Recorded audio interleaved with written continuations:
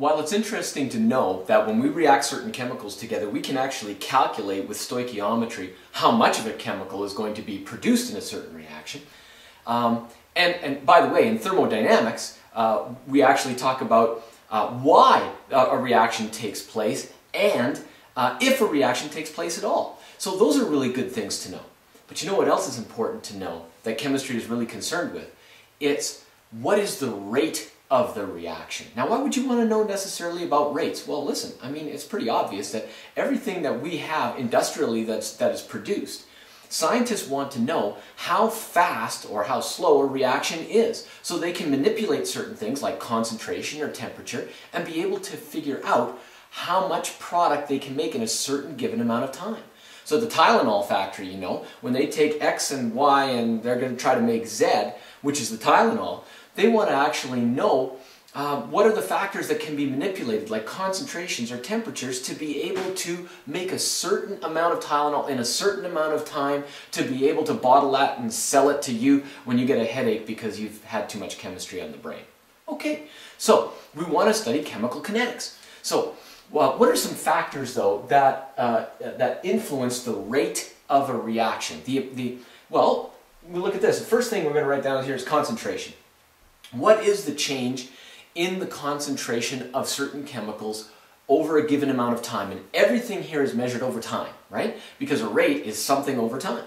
So Concentration over time, that's a factor. We can change concentrations, and perhaps when we change the concentration of reactants, that might speed up a chemical process or slow it down. So that's something to study. That's a factor that can affect the rate of reaction. Temperature. Now, a general rule of thumb is, generally, that when you increase the temperature of chemical reactions by 10 degrees Celsius, you double the reaction rate. Just a general rule of thumb. So temperature has an effect on the rate of reaction. Pressure would too, of course, just for gases, right? So if you increase the pressure, perhaps you are increasing the number of collisions per second that molecules experience, and hence you're able to produce more product in a quicker amount of time if you increase the pressure. Surface area.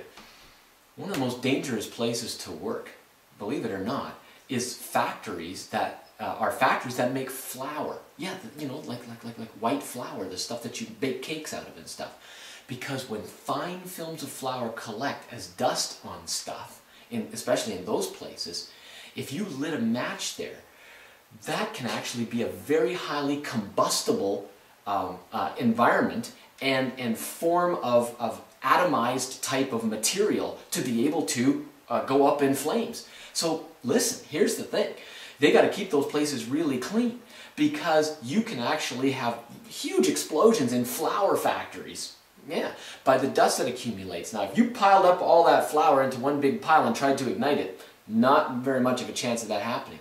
But when you spread it out and kind of, we say atomize it, you actually increase the surface area and that can increase the rate of a reaction. So surface area does that.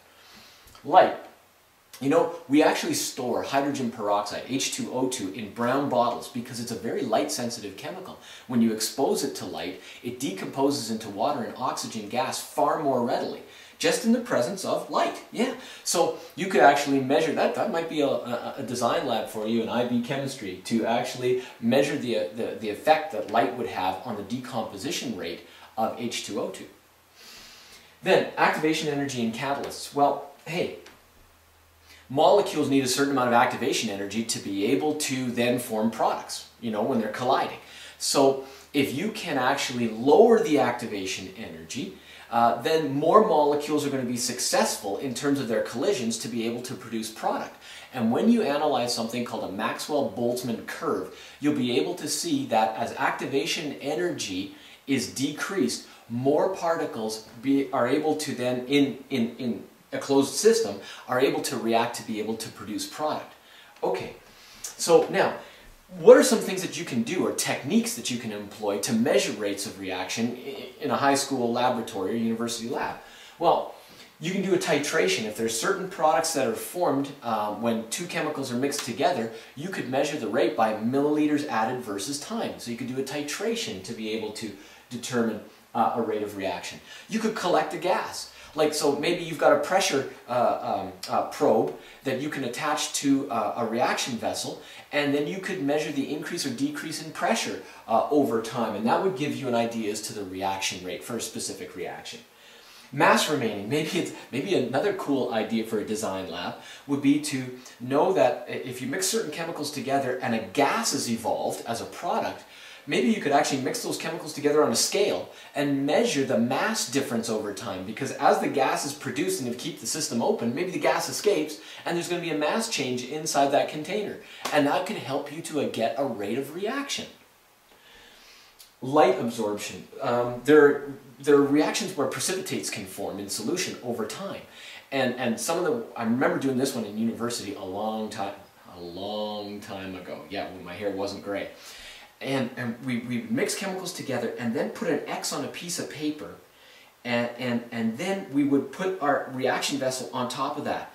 And then we would measure how long it took for the X that we would look at through the, the, the, the, reaction solution and down onto the paper for the X to disappear because a precipitate was forming and it would cloud over that X that was on the piece of paper outside the reaction vessel. Cool? And so it, we would actually alter the concentration of the chemicals and, and, and, and find the rate of the obscuring of the X. And then we were able to calculate a kind of a rate of reaction. Conductivity. So maybe the conductivity of a solution when you mix chemicals together will increase because it's making more ions or decrease because it's, it's actually forming chemicals that are, are precipitating out and, and there's a conductivity decrease in solution. Well, you could measure the conductivity change versus time or over time to be able to get a rate of reaction. And then there are these wonderful reactions that we do in, in chemistry where you can take uh, chemicals like uh, potassium bisulfite and uh, potassium iodate or sodium iodate and you mix them together.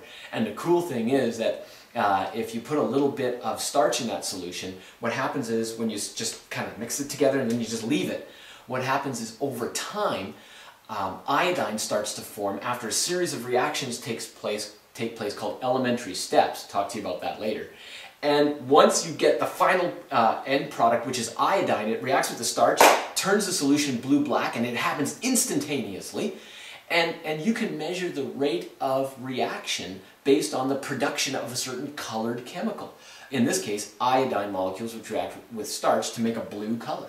And that's called a clock reaction because it takes a while for the reaction to happen. You're sitting there looking at it, and it's colorless, colorless, colorless, and you're bored and you look away and then you come back, it's changed. Those are pretty cool reactions.